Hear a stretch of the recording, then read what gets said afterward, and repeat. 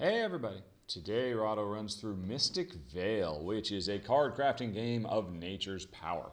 And now, this is a deck builder Sort of. It's really quite unlike anything else because in this game, you don't build your deck by adding individual cards. You instead kind of add new powers to the cards you already have. And I'm going to show you how that works today in a quick two player run through. I already got the game set up here.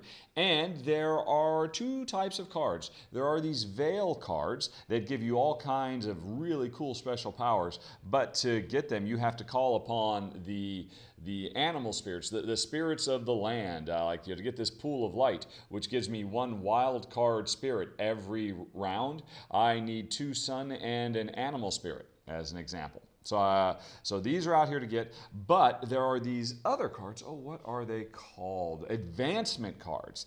These, as you can see, are translucent. And what happens, if I ever recruit the Dawn Singer, I can add it to a card that's already in my deck. Like I got this card in my deck that's a cursed land. It generates mana for me, but it also generates spoil or corruption. Now I can effectively upgrade this card in my deck by getting the Dawn Singer, installing it, and then boom, I've got a card that has now a special power and you know fundamentally changes its function. That's how the game works. It's really, really cool, quite different, and I'm going to show you how it works now. So uh, each player has the exact same starting deck of 20 cards. Uh, there's a few or what's it called, fertile soil cards in here, but for the most part, there are more of those cursed lands. Because, oh, I should say, we're druids tasked with the awesome responsibility of saving the land from all the curses and corruption that is spreading. So I have been assigned these 20 parcels of land that I have to heal and build up and save. Jen's got her 20, and like I said, it's a deck of some land, nothing's happened on it. It's a blank slate waiting for me to fill this up with goodness. Um, then there are some lands that have curses on them, and there are a few, I've only got three of them in here if I recall correctly, some lands that are actually fertile soil. So everybody starts with the same deck. You shuffle it up, and these little uh, mana trackers, we go on ahead. Everybody gets one at the beginning of the game. And I'll take this one. Jen will take this one.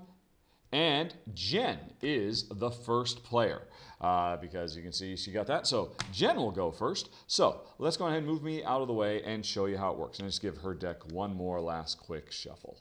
La la la la. La la la. That'll do. Okay. So there is a strong push your luck element in this game because uh, Jen's turn starts out. She flips the top card, puts it on deck, and then moves it into her field. And her first card was a blank. There's nothing good on it or nothing bad on it. Then she flips the next top card. And now she has to decide is she going to push or is she going to stop? Once she stops, she can take all the resources she's built up in her field and use it to buy new cards. Now, of course, she's not going to stop right now because right now she's just got a blank empty field. That's no good. So she'll push and bring out a cursed land. So now she's got one mana to spend to buy these advancement cards, but she's also got one spoil. Now, as soon as she put this out, she whether she likes it or not, she has to reveal the next card, which is a blank. Now, Jen can stop, at which point she has one mana to spend. That's not enough to buy anything. You need at least two mana to be able to get some more fertile soil. So Jen's going to push some more. She puts another card out. And, hey, she revealed fertile soil. She'll push some more. And a cursed land. So now this is where things, well, actually, not quite getting uh, interesting yet. Jen will go on ahead and push. So now she has built up three mana, but she's got two spoiled cards. And now, this is where things get interesting. Jen has got her third card, and Jen can keep pushing as long as she wants to go. But if she ever gets to the point where there are four of these red spoil tokens on her field or her deck, all these combined, if she has four of them, she busts and she doesn't get to buy anything this turn. And so Jen is now saying she could push this would get her another mana. She'd go from having three mana to four mana. But then she would have to reveal this card. And if this card is another cursed land, then she will bust and she will get nothing this turn. And um, you know this deck is over a third of it is cursed land. So Jen's got to decide now: is she going to push her luck to get more mana? Because you know with three mana, what could she do? Well, these are the level one advances, the level two advances, and the level three advances. And let's see, this one costs two mana, four mana, and four mana. This, and then you get to level twos. There's a one that costs five, six, and six, and so on. And then the level threes, hey, that one costs seven, seven, and that one costs nine. So Jen would like to have at least four mana so that she could get a Wellspring or a Dawnsinger, because three mana, well, she could get this Peacekeeper Druid, or she could buy a Fertile Soil. Um, you know, if she had one more mana, which she's got right there, she could put it out here, then she could get the Peacekeeper Druid and some Fertile Soil. So she could upgrade two of her cards. But it might blow up in her face. What the heck? Let's Jen's gonna take a chance. She'll put this out, and now whether she likes it or not, she must reveal the next card. Booyah! She got lucky. I think she's definitely going to stop now. She could put this out and hopefully try to get some more mana, but her next card might be a curse. She doesn't want that, so she's going to stop. And since she only has one, two, three, and nothing here, she does not ruin anything. So now, that what was that called? That is called the planting phase. Uh, Jen has brought all these cards out into her field. Now she does the harvest phase, where she takes all the icons and gets to use them. And in this case, and now it's interesting, uh, the, the card that's on deck hurts you if it has a spoil, but if this card had mana, it would give you nothing. So at this point, Jen's just got her four mana to spend, and I think she is going to go with what I was talking about. She'll buy the Peacekeeper Druid for two, and she'll get a Fertile Soil for two. And now these things can get installed in any of these cards that she's already got. So, uh, for instance, you know, uh, this cursed land, you know, it gets her towards spoiling, but it also generates mana. If Jen puts fertile soil in here, now, well, it's still cursed, but it's generating two mana. So that makes it a little bit nicer. Uh, now, another thing Jen could do instead, you know, she drew this, um, this card that was blank. This card does nothing. For all intents and purposes, this card might as well not even be in her deck. Um, but what Jen could do is she could turn this, she could install a Peacekeeping Druid here. And now this card has a function as well. And so, uh, Jen, and now uh, no matter how much mana you generate, you can only buy up to two cards over here. And um, once you start generating cards that create you know this wellspring which gives you access to plant and animal spirits you can start during the harvest use those to buy these vale cards that will give you additional powers but anyway that's it jen has powered up these cards uh, these go in her discard pile. And now the last thing Jen does on her turn is she does her prep phase, where she goes on ahead and draws until she's got three cards in her field and on deck that show a spoil. And the interesting thing is, Jen can be doing this while the other player, you know, you know Jen just finished her discard phase. She sleeved some advancements, um, and then, uh, you know, and, oh, and she refilled stuff where she had bought and the next player can immediately begin going. So uh, while it's still your turn and you're getting ready for the next turn, the next player can go. Now, I'm not going to bother with that. Uh, I'm just going to go on ahead and say it's my turn. We'll, we'll uh, have Jen go on ahead and start pushing her luck next time.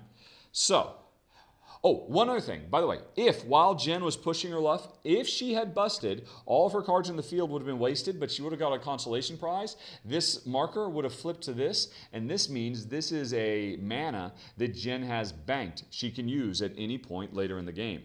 Normally, if you generate mana off your cards and you don't use them all, you lose it. But if you bust, you get one. So at least you get something for your troubles. All right, so that was Jen's first turn. Now it's my first turn. Let's go. All righty. And uh, see on my deck, I got nothing. And then, oh, some fertile soil. And hey, some fertile soil. I'll keep pushing with another blank. Oh, my first curse. Hey, this is actually going really well. Wow, I'm just burning through cards. Oh my gosh, more fertile soil. And my second, and another. Okay, so now I have to decide do I keep pushing my luck? I've got one, two, three. If I bring this out, I have to reveal another one. And if I have a four, I bust. And right now I've got one, two, three, four, five. I'd love to get six because that means I could get up to a gravedigger or a bear totem. Or heck, if I could get up to seven, I could get a will o wisp or oh boy, one of these really high ones. But you know, no, I, I this this is literally manna from heaven. I am not going to push my luck here. I'm just going to take my five. I'm not going to push any farther. And with my five, I'm going to buy a plow. As you can see, it costs five mana to buy this. It, these little dots means it was a level two. And now this plow is worth one victory point to me at the end of the game. But in the future, whatever card I put this on, when it comes up, I'll get a mana. I'll get a plant spirit, which is, I need more spirits to be able to start buying these, but I'll get a spirit. And this card will generate one victory point for me every round for the rest of the game. And so now again, I could put this on any. I could turn this blank useless card into a useful card, or I can kind of upgrade this card that's kind of uh, you know, it's got some good and bad and make it an even better card. Now, what I can't do, do I have any that are low? Yeah, I would not be able to install this plow here because you cannot over, you know, cover one feature with another feature. So, you know, I'll just go ahead and put this in a blank so I just have a wider variety. Instead, I mean, and there's really two ways you can go strategically. You can try to build fewer strong cards by putting a whole bunch of stuff onto one card, or you can spread the stuff around so you have a whole bunch of weaker cards. I'll just go for a bunch of weaker cards right now. And I'm really happy I got that. That was really nice. I didn't bust or anything. So these all get discarded. This is the, the card that's on deck for me. So, um, and again, normally at the end of my turn, I'd start setting up for the next level, but or my next round. But in the meantime, we'll just have Jen move on to her second turn. So we got to bring her deck back out here. And she's going to start pushing her luck. Hey, it's a blank. It's a blank. There's a curse a blank, a second curse, a blank. All right, so does Jen push her luck? She's got one, two, three. If she goes again and she busts, but only two mana. Ah, well, you know, I mean, two mana, you can just get some fertile soil. And she could put it on any of these things except for this one because she would be covering, you can't cover up anything with something else. So does she just stop now or does she push her luck? She pushed her luck last time and it worked out pretty well. But if she pushes her luck just to get to three, that's really not going to let her buy anything because everything that's out here costs at least four. So I don't think Jen's going to push her luck. She'll just stop and she'll go on ahead and put this fertile. Jen will, um, you know, co start combining cards. Um, to, so now she has made this card that is implicitly stronger. Okay. So those go into her discard pile like last time. And now it's, uh, yeah, and she didn't bust again, so she still didn't get that extra mana. Here comes me. It's my turn again. Let's uh, start going. A cursed land. Ooh, oh, wow, that's not very exciting. Okay. So, again, there's only, uh, you know, if I bring out a third, it's not going to let me buy something better. So, yeah, because I don't, I don't know if it's worth pushing my luck to because um, I'd have to I'd have to get two out. I think like Jen before me, I'm just going to stop. I'm going to buy two. It's going to be a fertile soil for me. I will install this fertile soil on this cursed land, and we'll just stop right there. All right, easy peasy. You know, and the first run through the deck, it's not unreasonable that you're just going to have spend a lot of time getting. Um, you know, if you don't want to push your luck, just getting some more fertile soil. So the next time you go through your deck, you're gonna have you're gonna be generating more mana. But anyway, back to Jen. And let's see, so there's two mana, three mana, four mana. All right, and here's where she stops. She's got four mana already. She gonna push her luck? You, um, you know what? I don't think so. She's just gonna stop right there, spend this four mana, and she could get a Wellspring or a Wellspring or a Dawn Singer. Now, um, this doesn't make more mana for her, but it does give her, I think this will be her first Forest Spirit. It's the yellow one, which means if she gets more of them and they all show up on the same turn, she could get the Sunstone Aerie or the Pool of Light. These are level ones, these are level twos. She could get the Blooming Arbor. So if she, and, but the other thing this does is well, um, during harvest, she gets one victory point for every um, helmet on this card. And this card comes with a helmet. So, say if Jen, like, okay, she puts this on a blank. Let's say Jen's going to spend her four on this, on this Dawn Singer. Now, this is going to be generating one victory point for her every time it comes up. But over time, if, say, later on, Jen could get this Feral Chieftain, uh, come here, you. These are hard to pick up on a glass table, as you might imagine. Oh, come on. So you need fingernails. All right. So if she gets this installed, she has upgraded this card. So during harvest, which is when you get your payout, there's one, two helmets. Wow, this is actually really nice because uh, this is also gain one. So um, basically, this thing would go from producing one point every turn to four points every turn if she could get both of these on here. So you can kind of go for targeted upgrades that way as well. So Jen's going to go for this, particularly because she can see that this Feral Chieftain's out here. And if she can get that later, that'll be amazing. All right, so that was her one buy. And these all get discarded. And so, as seeing a new one came out to replace her by some podlings. And now it is my turn. All right, and let's go again. So, hey, there's some cursed land. We knew that. And some cursed land, and a blank, and... Ah, do I want to go for two again? Ah, well, you know, this podling uh, just came out here. It only cost me two. I could buy this instead of more fertile soil. It's a helmet. And the interesting thing is, I know Jen just bought this guy. She would love to get this card because then, hey, she could put a helmet on here. So, um, yeah, I don't know. Uh, yeah, particularly because I'm looking around at what other helmet cards are there. There's this one, but these two won't work together because they cover each other up.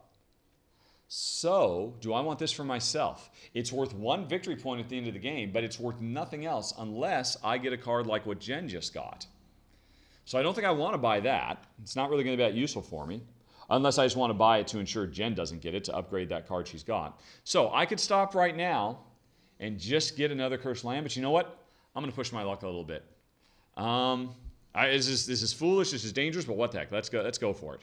I've got three mana, one more, and I could actually buy a Wellspring, which is two um, spirits, which is going to get me on the track towards buying Vale cards. There we go. Ah, boom. All right, I busted. One, two, three, four, I am out. And like I said, my consolation is this flips, and now on a future turn, I've got one extra mana to spend in addition to whatever. And so these all go away and I busted, or it's not called busted. I forget what it's called. I spoiled. I spoiled. But it's more fun to say you busted. All right. So that was my turn. All right. I, I knew that was dangerous. But all right. So Jen's turn. She's got her cursed land, and a second cursed land, and a blank. And um, so another one comes out, and her deck is empty now, but um, she's going to keep on pushing. So let's get her discard pile out that now has some good stuff in here. And let's see. Just shuffle it up a little bit. By the way, these are the game came with these sleeves that your deck is put in. They're very, very high quality sleeves. So that's really excellent. And all right, so there we go. So Jen's back out. Let's go on ahead and keep going. Another blank. Hey, it's her Dawn Singer. Oh, very nice. All right. And some more mana. And all right, so Jen's got, if she stops now, she's got three mana and one spirit, which is not really going to help her. And, um, but, for, uh, Jen's got enough mana to buy this podling and put it on her Dawnsinger right now. Although Jen was really hoping to put this Feral Chieftain on there because of the way those two would combo. But she needs, um, she's got only three. This is this would be four, but she'd have to push again to try and get five. If she gets that, oh my gosh, that would be a game changer. That would be huge. Huge, I tell you. So, um, oh, oh, okay, she's going to do it. She's going to do it. Okay, here we go. Ooh, she can stop. She can stop. She doesn't have to put this out. And now she's got four mana. Not enough to get the Feral Chieftain, but it, it could stick around for a while. In the meantime, Jen could get a wellspring. Oh. Okay, yeah. I think, um, uh, yeah, she's not going to push luck anymore. She's just going to stop at four mana. Um, and so she's going to harvest now. And remember, hey, this Dawn Singer, harvest. Get one point for every helmet. She's got one helmet on this card, so Jen just scored a point. Now, these here, in a two-player game, there are 23 of them. This is the timer for the game. Once these 23 um, have been gobbled up, that triggers the end of the game. So you can get points on cards for just getting them in your deck, but a lot of cards are, you know, let your deck become a point generating engine so you can burn through these. So Jen just scored a point and she's got four to spend. So Jen will buy herself I think one of these, well, hmm, four to spend. She could get this Podling for two and upgrade the Dawn Singer, but then she's giving up her chance to get that. But heck, I mean, Jen's not going to get her Dawn Singer again until we go all the way through that deck. And I might grab that before then. So, does Jen, does she wait till later and hopefully get this? Hopefully it's not gone because I don't take it. Or does she just take this Podling now? This Podling for two plus another Fertile Soil for two. What will you do, Honey Pie? Ah, she wasn't listening. All right, I am going to say Jen is going to be conservative. She's just going to take the podling in the hand instead of the feral chieftain in the bush. All right, so that was two. And so now this is producing two points every time in the future that Jen gets it. And she's going to want to put another helmet in this slot eventually. And she'll get a fertile soil. Now, when you get a fertile soil, you can take a top or a medium or, uh, or a middle or a bottom, you know, your choice. Oh, by the way, um, I did, this is a good opportunity to show. The game, every one of these cards, they came with a protective film that was put on as part of the manufacturing process. And when you get the game, there's a little thing here saying, hey, you know, you can pull this film off because it makes them look a little bit nicer. Um, and But the rule suggests don't bother pulling them off when you first get them because they're kind of on here pretty tight. They're hard to get off. Over time, they'll start coming loose. So you guys get to see, hey, I'm going to take one of these off and you'll see the before and after. Wah! So it just becomes a little bit brighter, a little bit more vibrant. And the nice thing is, uh, these cards, as long as they have that film, they kind of stick to each other a little bit, so it's kind of nice once you get these off. So um, with take, Jen will take this one. Now she could put this in here, and this would be done, but no, she wants to save and put another helmet symbol in there. She will just make uh, another guaranteed mana. Okay, so that was her turn. She didn't bust, and she didn't grab the really cool thing she could have, but she was just playing conservatively. A new one comes out. Oh, wow, that's perfect for her. This is the last thing. If she can get this middle helmet, boom, this Dawn Singer will be doing quite nice for her. Uh, which means maybe I'm going to buy it because I could buy that and then later on try to, it's worth nothing, but later on it'll be worth something with that Feral Chieftain. So anyway, back to me, back to my turn. And remember, I busted last time, so it just so happens I've got some extra mana. So let's go on ahead and see what we get. Uh, blank. Uh, my second one, blank, blank. Okay, I'm going to have to reshuffle my deck. I can start seeing some of my goody goodness. Wow. I mean, actually, what's in here? Is it possible that I might actually... Nope, I've only got one animal. I didn't get any doubles. So if any of this comes out, that's not going to... You need at least two to get a lot of these things. So, looks like I'm a ways off before we can get a Mystic, uh, uh, you know, one of those Vale cards. Anyway, let's just step up a little bit more and then keep on pushing. On deck, out it comes. On deck, ooh, do I stop? All right, so one, two, three mana, but it's really four, although I don't have to use this right now. Hmm. In perfect world, what I want to do is get seven mana, because then I could get the Feral Chieftain and the Podling at the same time and just boom, get them both. But I'd have to really push my luck. Although I've got, let's see, if I push this, I go to four, and then boom, I've got five. I can get that Chieftain. Although if I've got, yeah.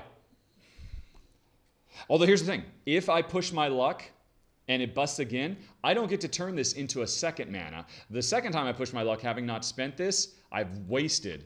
So I don't think I'm going to push my luck. I'm just going to stop right there. So I've got three mana, which is enough just to get this fertile soil or this podling, but I can trade this in to get four mana, and now I could get a wellspring or the podling. And, um, you know, I could go for that. Uh, you know, I really should because because this plus this could work out for me later, or I could say to heck with that, and instead I'm going to get a wellspring. Um, let's say, and install it on, say, this cursed land. And then later on, not only will this cursed land generate mana for me, but it will allow me to see it. So it's a plant and an animal, which, if, if this, in addition with another plant, would let me get um, the Heartwood Sanctuary, which is, well, this one's not particularly exciting one. It's just worth three points. Some of them are very, very cool like uh, this one, which would get me one wild card to be able to get more harvest cards anytime I want. Uh, this one, once per turn, you may spend two mana to use any one uh, spirit. So uh, this one, once per turn, once per turn, choose a card in your field or on deck, and that one gets a helmet. So Jen would like to get this because that means that could be getting an extra helmet on top of everything else she puts on this if she uh, gets the conclave events, etc., etc. So anyway, I'm stopping there, and I'm just going to get a wellspring so I can, rather than working on trying to get points by doing a combo of that, I'm going to try to start getting these because these are huge. They're very big. I've spent, and now it is Jen's turn. A new thing comes out. It's a Deadwood Harvester, who is an interesting, costs uh, three, and uh, doesn't generate anything, but when played, you can discard any other card in your field. So when it comes out, you can trash, basically, or not trash, you can get rid of a curse so that you could hopefully keep drawing and get something better. Get rid of a card that only has a curse on it, um, you know, a, a cursed land, so that later on you can find one of those cursed lands that you upgraded with fertile soil, as an example. So that's come out. Jen is going to All right, so, and she, is she going to keep on going or not? She's got three. Mm, if this comes out, though, if it doesn't bust, this is an upgrade thing, Jen would go to from three to five. But then she might bust. Oh, that's the choice. And that, folks, is that's the series of tough choices you have to make repeatedly as you try to build up your Mystic Vale. I think I'm going to stop right there because hopefully you get a pretty good idea of what the game is all about. Now, if you'd like to hear some final thoughts, you can hit the little I in the top right corner of the screen or follow the show notes in five, four, three, two, one.